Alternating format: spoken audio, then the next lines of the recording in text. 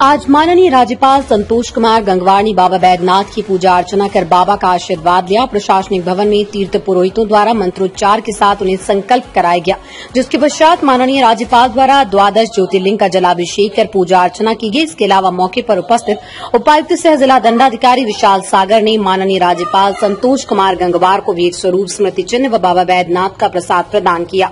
इस मौके पर उपरोक्त के अलावा अनुमंडल पदाधिकारी सागरी बराल, अनुमंडल पुलिस पदाधिकारी ऋत्विक श्रीवास्तव एवं संबंधित अधिकारी व पुलिस पदाधिकारी एवं अन्य उपस्थित थे। इसके साथ ही माननीय राज्यपाल संतोष कुमार गंगवार की अध्यक्षता में मोहनपुर प्रखंड के नया चितकाट गाँव अंतर्गत ग्रामीण के साथ संवाद कार्यक्रम का आयोजन अपराह तीन बजे से किया गया, जहाँ माननीय राज्यपाल गाँव वाले से सीधे संवाद किए। देवघर से बबलू साहा की रिपोर्ट। दमदार निर्माण का भरोसा, लाल स्टील टीएमटी बार्स हर निर्माण के लिए उपयोग, लाल स्टील टीएमटी बार्स रिश्ता, मजबूती का।